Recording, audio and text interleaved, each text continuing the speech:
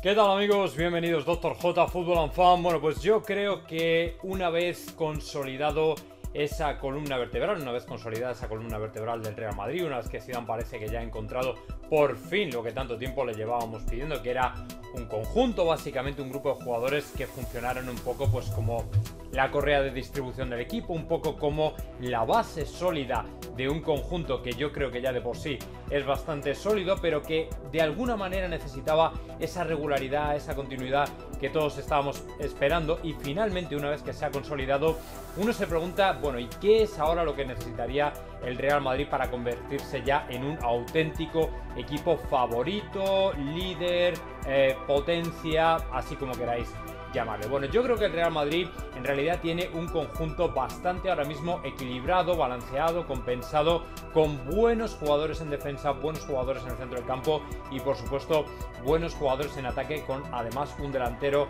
centro que es Benzema que está teniendo bastante gol, eh, en principio bastante más incluso de lo que algunos podrían imaginar, con lo cual está muy bien porque creo que el equipo está muy compensado, pero quizá el Real Madrid todavía podría plantearse algún fichaje y muchos de vosotros pues ya sabéis lo que se ven a la cabeza. Mbappé, Haaland, Camavinga, una renovación, eh, David Alaba, Poquetino en el banquillo, cosas así, ¿no? Entonces, yo os voy a dar mi opinión de lo que creo que le haría falta a este Real Madrid para ser realmente un equipo ya competitivo 100% y poder enfrentarse con unas mínimas garantías a equipos de la Premier del resto de Europa, como pueden ser el City, el Bayern de Múnich, el Paris Saint-Germain, etcétera, etcétera. Bueno, yo creo que en este sentido la política de fichajes del Real Madrid tampoco tiene que estar orientada a llevar a cabo una plena renovación de la plantilla, una suerte de revolución en la que pongamos patas arriba al equipo y en el que todas las caras cambien y de repente tengamos a un montón de nuevos jugadores en la plantilla. No, yo creo que el Real Madrid no necesita exactamente eso. Daos cuenta de que las buenas noticias cuando se trata de jugadores veteranos como los que tenemos, como Benzema, como Modric, como Cross, como Ramos, es que son muy zorros y se las saben todas. Y evidentemente cuando se enfrentan a equipos cuya edad media desciende vertiginosamente, es decir, está en torno a los 25, los 27, los 26, todo ese tipo de cosas, estos jugadores daos cuenta de que tienen muchas Champions, muchas competiciones y muchos partidos a sus espaldas. En definitiva, tienen muchas horas de vuelo y son jugadores que no necesitan correr de arriba abajo como pollos sin cabeza porque saben perfectamente qué es lo que el partido les va demandando en cada momento. Entonces, teniendo eso en cuenta, el Real Madrid no se tiene que volver loco a la hora de fichar. Sí que es cierto que necesita fichar. ¿Por qué? Porque a diferencia de la primera etapa de Zidane, cuando teníamos el famoso equipo A, el famoso equipo B, ahora yo creo que una vez que Zidane ha asentado sobre 13-14 jugadores más o menos la columna vertebral de su equipo y su 11 más o menos fijo, en realidad no tenemos un equipo B, tenemos jugadores que lógicamente te pueden suplir en un momento dado, que te pueden sacar de un apuro, pero que no son propiamente dicho un equipo B. Por ejemplo, tienes a Jovic, que no sabes cuál va a ser su futuro. Tienes a Mariano, que no sabes cuál va a ser su futuro. Tienes a Isco, que parece que su futuro está lejos del Real Madrid. Tienes a Marcelo, que está lejos del Real Madrid tienes a, Hazard, cuyo futuro ahora mismo es una absoluta incógnita. Tienes a Marco Asensio, que no sabes hacia dónde va a tirar, si se va a sentar, si se va a quedar eh, como suplente titular, entre comillas. En fin, tienes una serie de jugadores que ahora mismo no te están rindiendo tanto como para suplir completamente o voltear totalmente al equipo titular. Con lo cual, el Real Madrid lógicamente tiene que plantearse, en mi opinión, traer a jugadores que de alguna manera no, no es que sirvan para hacer un equipo B, pero sí que de alguna manera sirvan para que cuando tienes que eh, no contar o no puedes contar con los titulares, sí que te den una serie de garantías como para estar en el primer equipo. Me estoy refiriendo, se me está viniendo a la cabeza, por ejemplo, un medio centro defensivo. Estamos hablando de, obviamente, un Eduard Camavinga o algo parecido. ¿Por qué? Porque no tienes un reemplazo natural de Casemiro. Punto número uno. Punto número dos. Lateral izquierda, ¿quién tienes? Ferland Mendy. Marcelo sería el suplente, pero lógicamente no está en condiciones y además todo apunta a que probablemente salga del Real Madrid.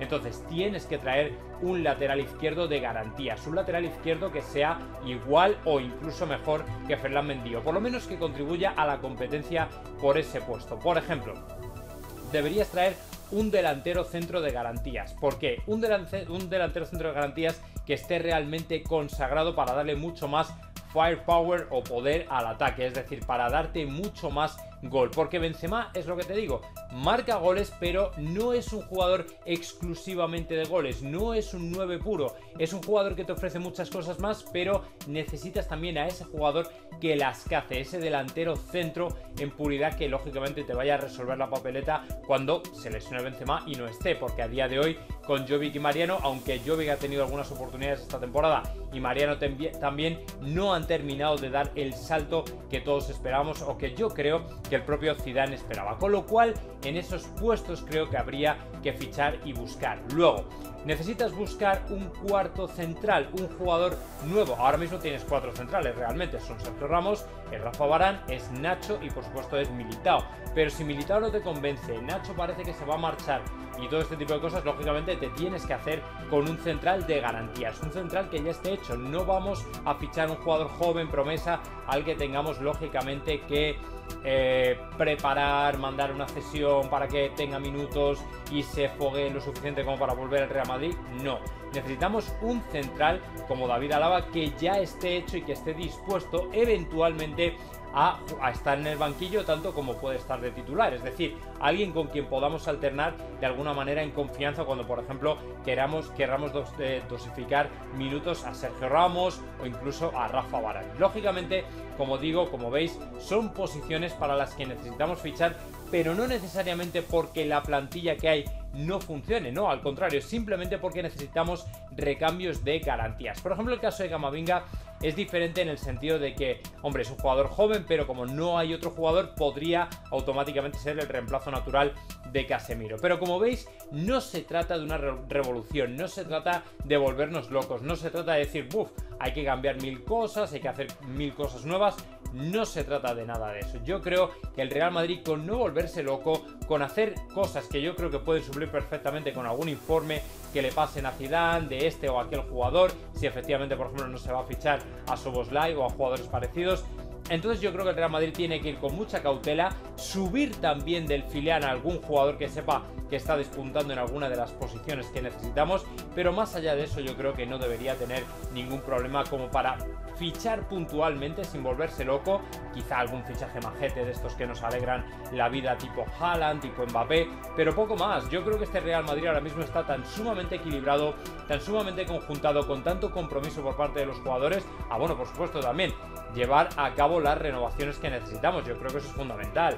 Modric, Ramos, Lucas Vázquez, yo creo que son jugadores que tienen que tener su futuro ya más o menos organizado y tienen que saber más o menos lo que va a ser de ellos en el futuro. Quitarnos ya de políticas absurdas que ponen al club por encima de los jugadores porque al final son los jugadores los que hacen grande al club y por eso creo precisamente que hay que balancear y ser flexibles con este tipo de políticas porque al final a lo mejor lo que ocurre es que te va a perjudicar. O sea, tú no puedes ignorar, como pasó con los Chicago Bulls en 1998, ¿no? Tú no puedes ignorar quién es Michael Jordan, quién es Scottie Pippen, quién es Dennis Rodman.